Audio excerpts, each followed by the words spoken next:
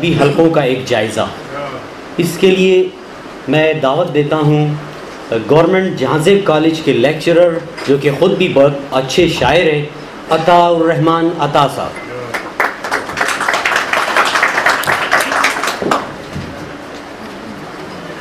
Pashto department کے شاعر ہیں جہانزیب کالج کوئی بات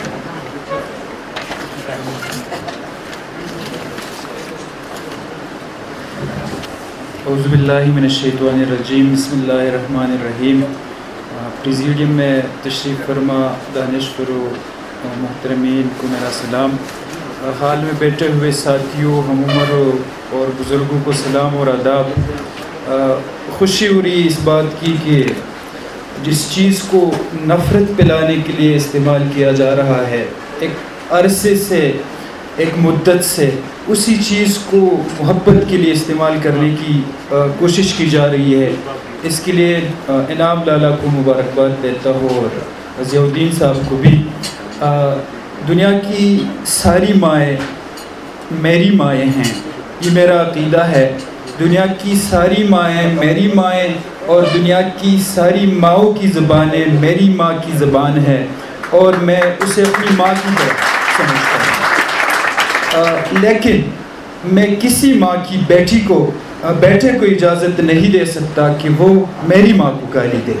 احترام کے ساتھ اور عزت کے ساتھ ہم سب نے آگے جانا ہے۔ میں اپنے موضوع کی طرف آتا ہوں، لیکن اس سے پہلے دو چیزیں ضروری ہے کہ کائنات میں، یونیورس میں اللہ تعالیٰ نے ایک ڈائیورسٹی تخلیق کی ہے۔ ایک تنوع اللہ تعالیٰ نے پیدا کیا ہے۔ اب اس تنوع کو برداشت کرنا، اس کو ٹولیریٹ کرنا، یہ انسانیت ہے۔ اس ڈائیورسٹی کو نہ ماننا، اس کا رسپیکٹ نہ کرنا، اس کو برداشت نہ کرنا، یہ ایک غیر انسانی فعل ہے۔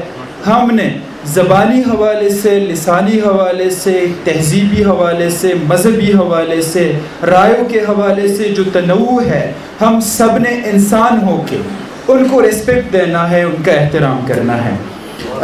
سواد میں پشتو ادب کی ترویج میں ادبی تنظیموں کا کردار۔ یہ میرا ٹاپک ہے۔ شاید دوسری زبانوں زبانوں کے لوگ یہ سوچیں گے کہ اس سے ہمارا کیا تعلق ہے۔ تو زبانوں کا ایک دوسرے پر اثر ہوتا ہے۔ زبانیں ایک دوسرے سے سیکھتے ہیں۔ زبانوں کے بولنے والے ایک دوسرے سے، دوسروں سے سیکھتے ہیں۔ شاید کسی زبان میں اب تک وہ تنظیمیں اس طرح کے وجود میں نہیں آئے ہوں۔ جس طرح کی دیگر زبانیں میں ہوں، تو یہ مقالہ یا یہ چھوٹی باتیں، یہ لا علم انسان کی باتیں، ان لوگوں کو اس طرح موٹیویٹ کرے کہ وہ اپنی زبانوں میں تنظیمیں بنائیں اور پھر اس کے جو فائدے ہیں، ان کو بھی سمیٹیں۔ تنظیم کا تھوڑا سا میں مختصر سا میانہ سا میں تعارف تعریف کروں گا کہ لوگوں کا ایک گروہ ہوتا ہے، ایک منظم گروہ ہوتا ہے جو کسی مشترکہ مقصد کے لیے کام کرے۔ یہ تنظیم ہوتی ہے۔ اس کا ایک اپنا سٹرکچر ہوتا ہے، اس کا اپنا ایک وہ عین ہوتا ہے اچھے تنظیموں کا۔ اور پھر اپنے مشترکہ مقاصد کے حصول کے لیے وہ آگے بڑھتے ہیں اور کام کرتے ہیں۔ معاشی تنظیمیں، کاروباری تنظیمیں وکلا کی تنظیمیں پروفیشنل تنظیمیں، کاروباری تنظیمیں، یہ سب کچھ ہے۔ انہی تنظیموں کی اقسام میں ایک قسم ہے ادبی تنظیم۔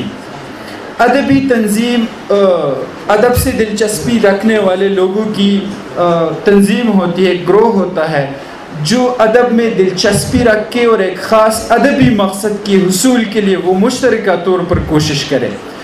دنیا کی ساری زبانوں میں دنیا کی ساری ادبیات میں اس قسم کی تنظیموں کی مثالیں موجود ہیں، کافی اس کی پرانی تاریخ ہے۔ میں صرف پشتو کے حوالے سے بات کروں گا اور اپنے مقالے کو چھوڑ کے میں اس کو تھوڑا سا اس کی تلخیص آپ کے سامنے پیش کروں گا، کیونکہ کافی میں نے وہ ورک برے ہیں۔ اس کو چھوڑنا بہتر ہوگا۔ پشتو ادب کی ترویج کے حوالے سے اگرچہ تنظیم سازی کی جو یا انجمن سازی کی تاریخ ہے، وہ اتنی پرانی نہیں ہے۔ اور اس کے اپنے محرکات ہیں۔ ان محرکات کو میں بچھوڑوں گا۔ لیکن ان چیزوں کا یا ان بنیادوں کا ذکر ضرور کروں گا جنہوں نے پشتو ادب میں تنظیم سازی یا انجمن سازی کی طرف لوگوں کو راغب کیا۔ اور وہ بنیادیں ہیں، وہ استانے وہ دربار اور وہ شخصیات۔ جنہوں نے اپنی ذاتی استعداد میں، اپنی پرسنل کیپیسٹی میں ادب کی پشت و ادب کی سرپرستی کی، لوگوں کو اپنی درباروں میں اپنے استانوں میں، اپنے حجروں میں، اپنے دیروں میں جمع کیا اور پھر ان کی تربیت کی۔ ان اس قسم کی تحریکوں میں یا استانوں میں پشت و ادب کے حوالے سے جو روشنائی تحریک ہے اس کا ذکر بہت ضروری ہے، کیونکہ اس نے ایک پوری کیب کی تربیت کی، ذہنی طور پر بھی اور ادبی طور پر بھی۔ روشنائی تحریک کے علم بردار جو تھے، وہ استانوں والے لوگ تھے، تصوف سے ان کا تعلق تھا۔ تو یہ تحریک ابری، ایک استانے سے، صوفی کے استانے سے ابری اور صوفیوں کے استانوں میں پروان چڑھی اور پھر لوگوں کو متاثر کر کے انہوں نے آگے اردو ادب، پشتو ادب کو کنٹریبیوٹ کیا۔ اس کے مقابلے میں ایک اس کی مخالف وہ استانہ ہے اور وہ بنیر کے پیر بابا اور اس کے مرید اخن درویزہ بابا کا استانہ ہے۔ اس سے روشنائی تحریک کے بالکل متوازی اور اس کا مخالف ہے وہ تحریک ابری اور یہ تحریک بھی استانے کی وجہ سے پروان چڑھی اور استانے کی وجہ سے آگے بڑھی۔ اس تحریک کو بھی ایک استانے نے پروموٹ کیا۔ اور اس تحریک نے بھی کئی ادیبوں اور کئی رائٹرز کو پیدا کیا جس نے پشتو ادب کو متاثر کیا۔ اس طرح پھر خوشحال بابا کا جو دور آتا ہے، تو اس میں بھی باقاعدہ کوئی تنظیم آپ کو نظر نہیں آتا۔ بلکہ خوشحال بابا کی ذاتی استعداد سے اس کی خاندان کے لوگوں نے اپنے طور پر ادب کی سرپرستی کے اور اس کو پروموٹ کیا۔ پھر اس کے ساتھ حافظ رحمت خان روحیلا کا دربار سوکنوں کے میاں عمر صاحب کا استانہ کاکا صاحب کا استانہ مردان کے خان شاد محمد خان کا حجرہ اور زیدہ کے ارسلہ خان کا حجرہ۔ یہ وہ آپ کہہ سکتے ہیں وہ مراکز تھے جس نے لوگوں کو انکریج کیا کہ آپ آئے، ملے، بیٹھے، بحث، مباحثے کرے اور اپنے آپ کو پروموٹ کرے، اپنے ادب کو پروموٹ کرے۔ پھر جو باقاعدہ وہ قسم کی تنظیمیں ہیں یا جو انجمنیں ہیں، یہ بہت بعد میں پشتوں کے حوالے سے ہمارے وجود میں آئی ہے۔ اور یہ پہلا جو باقاعدہ تنظیم جس کا ذکر کیا جاتا ہے پشتوں کے حوالے سے، وہ بارہویں صدی کا ہے اور وہ افغانستان کا ہے۔ افغانستان میں وہ تنظیم وجود میں آئی تھی۔ اور اس نے باقاعدہ طور پر وہ سرپرستی کی ادب کی اور لوگوں کو اس وقت کے شعراء کو انہوں نے انکریج کیا۔ اس تحریک نے، اس دربار میں شاہ حسین اس دور کے بادشاہ تھے اور یہ اس، وہ خود بھی شاعر تھے۔ اس کے دربار میں وہ لوگوں کو، شعراء کو ادبا کو جمع کرتے تھے۔ پٹا خزانہ کے جو مولف ہے شاہین صاحب محمد ہوتک لکھتے ہیں کہ وہ اس اجلاس کے وہ ہوتے تھے، منشی ہوتے تھے اور شاہ حسین اس کے صدر ہوتے تھے۔ پھر اس قسم کی ایک اور تنظیم بھی قندہار میں بنی تھی اور پھر اس کے بعد ایک کافی طویل وہ خاموشی آپ کو نظر آتی ہے تنظیمی حوالے سے پشتو ادب میں کہ اس قسم کی کوئی تنظیم آپ کو وجود آپ کو نظر نہیں آتی پشتو ادب کی تاریخ میں۔ اور پھر بات یہاں تک آتی ہے کہ جب انیسویں صدی کے اواخر میں انگریز ہندوستان آتے ہیں اور پھر وہ جو علاقے پشتونوں کے تھے، اس کی طرف بڑھنے کی وہ کوشش کرتے ہیں۔ تو اس سے، اس قوم کی اس خطے کی تمام لوگوں کی زندگیوں پر دور رس اثرات پڑتے ہیں۔ ایک نئے قسم کی چیز سے ان کا واسطہ پڑتا ہے۔ معاشی تبدیلی آتی ہے، سماجی تبدیلی آتی ہے، علم و ادب کے حوالے سے بھی تبدیلی آتی ہے۔ اور اس طرح وہ محور، وہ مراکز تبدیل ہوتے ہیں جو ادب کے حوالے سے بیتے مجھے مختصر کرنے کے لیے ایک چٹھی ملی ہے۔ تو میں اس پس منظر کو بھی چھوڑتا ہوں، جو پشتو ادب میں تنظیم سازی کے حوالے سے میں صرف سواد کی طرف آتا ہوں، باقی کو چھوڑتا ہوں۔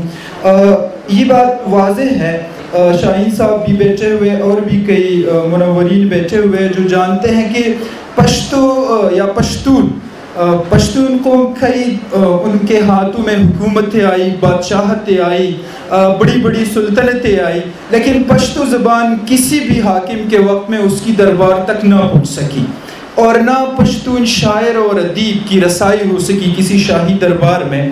اور تاریخ میں سوات ایک ایسی ریاست ہے جس کی مثال ہم دے سکتے ہیں کہ اس میں سرکاری زبان پشتو تھی، اس کا جو بنیادی قانون ہے وہ پشتو میں ہے یہاں پر جو دفتری کام ہوتا تھا یہ پشتو میں ہوتا تھا، یہاں تک کہ عدالتی فیصلے بھی پشتو میں ہوتے تھے۔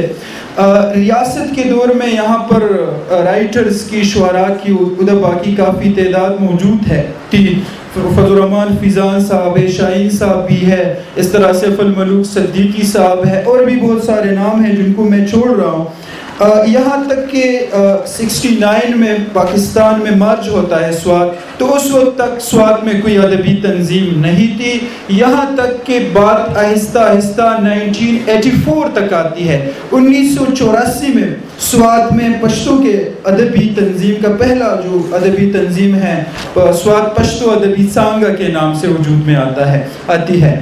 فضل محمود روخان صاحب اس کے بانی ہیں اور اس کے ساتھ بہت سارے لوگ تھے۔ آج تک یہ تنظیم زندہ ہے، فعال ہے اور ادبی سرگرمیاں کر رہے اسی سال 1984 میں کور تنظیم سواد پشتو ادبی کاروان کے نام سے وجود میں آتی ہے۔ یہ تنظیم بھی آج تک زندہ ہے اور کام کر رہی ہے۔ اس کے علاوہ بعد میں جتنی تنظیمیں آئی ہیں، صرف میں ان کے نام لینا چاہوں گا۔ پشتو ادبی ٹولنا جہان زیب کالج سواد ادبي څانګه سواد پښتو ادبي کاروان سواد علم پښتو ادبي ټولنه بریکوټ نوې تیر سواد سوچلي کول سواد سواست آرټ اینڈ کلچر اسوسییشن دوکټ پښتو ادبي تړون یوسفزی پښتو ادبي ټولنه سواد کابل پښتو ادبي تړون سواد پښتو ادبي ورزنګ سواد دستار ادبي ټولنه سواد سواد ادبي تړون سواد مشال ادبي ټولنه مټه سواد نوې سحر پښتو ادبي ټولنه اودیانه ادبي او کلتوري ټولنه سواد سوات ادبی غورزنګ رڼا ادبی کاروان، گالوچ سحر ادبی ټولنه کوزه باندې ملګری لیکوال سوات پختو ادبی او کلتوري نړیواله جرګه، ژوندي لیکوال سواد سواد ادبي بورډ، ماندور، پښتو ادبي ټولنه پوسٹ گریجویٹ کالج مٹا مذکورہ تنظیموں کے علاوہ ایسی تنظیمیں بھی ہیں جو آج فعال نہیں ہیں، ان کے نام میں نے چھوڑ دیے ہیں۔ اب مختصر سے چند پوائنٹس میں ایک کام کی طرف آتا ہو۔ ان تنظیموں نے کیا کیا؟ کیا خدمت انجام دی ادب کو پروموٹ کرنے میں شعراء کو آگے لانے میں؟ ان تنظیموں نے سب سے پہلے یہ کام کیا کہ ان لوگوں نے شعرا اور ادبا کو پلیٹ فارم مہیا کی۔ آپ جب لکھتے ہیں اور آپ کی چیزیں، آپ کی تخلیقات آپ کے آپ تک محدود ہوتی ہے تو اس کا کوئی فائدہ نہیں ہوتا۔ یہ اس وقت اس کا فائدہ سامنے آتا ہے جب یہ لوگوں میں پہنچے۔ تو ان تنظیموں نے بریج برج کیا لوگوں اور شعرا اور ادبا کو۔ ان تنظیموں نے عوام میں شعر و ادب کا ذوق پیدا کیا۔ آپ لکھتے ہیں لیکن آپ کو کوئی سنتا نہیں۔ آپ کی اپریسیشن نہیں ہوتی، آپ کو کوئی کریٹیکلی انالائز نہیں کرتا، تو آپ کی تحریر کا کوئی فائدہ نہیں ہوتا۔ جب اس قسم کی پبلک میٹنگز میں آپ بولتے ہیں، آپ لکھتے ہیں، آپ لوگوں کے سامنے آتے ہیں، تو لوگوں کی ذوق کی وہ ہوتی ہے، تربیت ہوتی ہے۔ ان تنظیموں نے ادبی فضا کی تخلیق میں بنیادی کردار ادا کیا۔ ان تنظیموں نے شعراء کے ساتھ ساتھ عوام کے ادبی شعور کو بھی پروان چڑھایا۔ شعراء اور ادبا کو ایک دوسرے کے ساتھ ایک دوسرے کی تجربات اور مشاہدات سے مستفید ہونے کا موقع دیا۔ مبتدی شعراء کی تربیت کی ایک بڑی تعداد میں شعری مجموعے، افسانوی مجموعے، ناول اور تذکری شائع کیے۔ تنقیدی نشستوں کا انعقاد کیا، سیمینارز، ورکشاپس اور کانفرنسز منعقد کیے۔ تخلیقات کی رونمائی کی تقاریب میں تنقیدی مباحثوں کی۔